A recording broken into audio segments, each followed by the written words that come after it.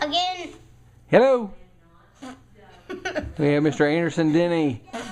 How are you, Anderson? Five years old and one month. Ten. Yeah, you wish you were ten. So, what's been happening in your life? You going on any trips lately? Yes. Where'd you go on your trip? San Diego. What'd you do in San Diego? Uh, uh, uh. Ride roller coasters. You don't like roller coaster, do you? Aren't you scared of them? No, you like to go fast. Do you like to ride in the front or the back? Front. The front. And what was your favorite roller coaster? Did you like uh, Space Mountain or the blue one at Legoland? Ding-a-ling. Do you like that one? Yeah.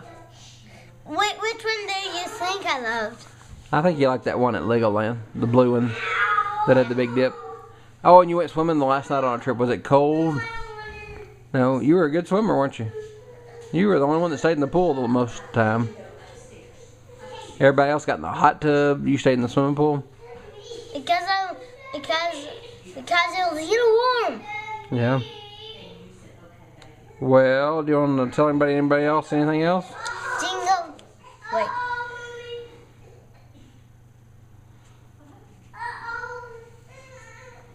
Okay. Jingle bells, jingle bells, jingle all the way. All our fun is to ride and one was up inside. Hey. Hey. Hey, are you having fun in Miss Stacy's class this year? Yes. What have you learned? I'm not telling. You're not telling. do you like playing on the computers? Yes. Now let me see this. Okay, tell everybody bye-bye. Bye bye. Now, now let me see. Say see you next month.